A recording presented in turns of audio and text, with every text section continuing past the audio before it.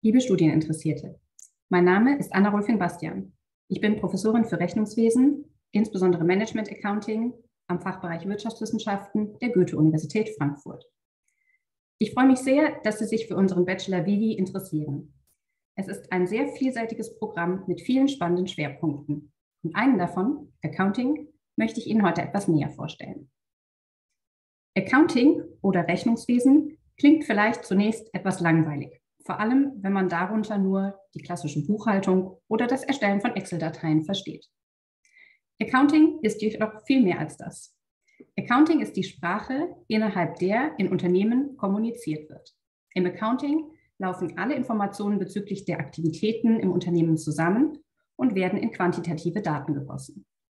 Diese Daten werden an unternehmensinterne und externe Verwender kommuniziert, zum Beispiel an Manager im Unternehmen, die auf Basis dieser Daten Entscheidungen treffen, oder an den Fiskus, der die Daten als Grundlage für die Berechnung der Körperschaftssteuer heranzieht, oder an Investoren, die ihre Investitionsentscheidung auf diesen Daten basieren. Die interne Datenbereitstellung und Nutzung fällt in den Bereich Management Accounting oder internes Rechnungswesen.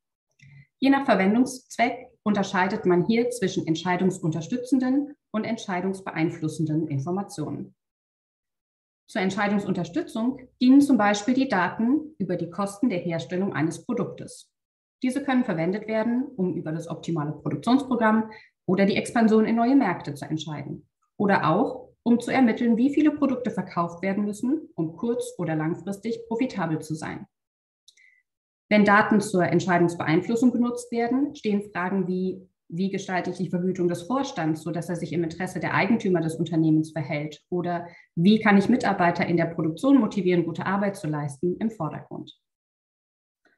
Wenn die Daten an externe Adressaten übermittelt werden, befinden wir uns im Bereich des Financial Accounting oder des externen Rechnungswesens. Zu den externen Verwendern gehören Investoren, Banken oder auch der Fiskus. Diese Verwender benötigen einheitliche und klar interpretierbare Informationen, um die Leistung des Unternehmens und seine Zukunftschancen einschätzen zu können.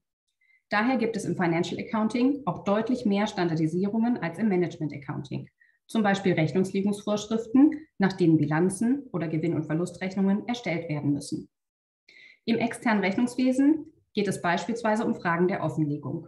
Welche Informationen von, müssen von welchen Unternehmen in welcher Form bereitgestellt werden? Was ist freiwillig, was ist verpflichtend?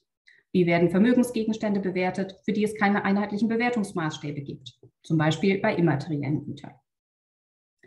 Accounting ist die Schnittstelle zwischen den einzelnen Funktionen im Unternehmen, aber auch zwischen dem Unternehmen und der Außenwelt. Die Interaktion der vielen Akteure wirft immer wieder neue und spannende Fragestellungen auf, beispielsweise auch im Bereich der Corporate Governance. Wie soll eine Nachhaltigkeitsberichterstattung ausgestaltet werden und wie motiviere ich Manager im Unternehmen, nachhaltige Entscheidungen zu treffen? Welche Rolle spielt der Aufsichtsrat oder der Wirtschaftsprüfer, der Fiskus oder die Gesellschaft? Sie sehen, Accounting ist viel mehr als Buchhaltung und Erbsenzählerei. Es bildet die Grundlage für ein erfolgreiches Management. Wer Accounting studiert, ist bestens ausgebildet für eine Vielzahl von Jobs in der Praxis und in der Wissenschaft. Wer die Zahlen im Unternehmen versteht, interpretieren und kritisch hinterfragen kann, der kann Vorgänge einordnen und Entscheidungen treffen. Kurz gesagt, Verantwortung und Führungsrolle übernehmen. Unsere Absolventen arbeiten als Controller oder Wirtschaftsprüfer, sie werden CFO oder CEO in Unternehmen oder machen sich als Steuerberater selbstständig. Sie reisen als Unternehmensberater um die Welt oder kümmern sich um das Management von NGOs. Accounting gilt als krisensicher. Schließlich werden gute Accountants immer gebraucht, wenn es dem Unternehmen gut geht, genauso wie wenn es in Schwierigkeiten ist. Wir freuen uns, wenn wir Ihr Interesse für den Studienschwerpunkt geweckt haben und Sie demnächst in einer unserer Vorlesungen oder in einem unserer Seminare begrüßen dürfen.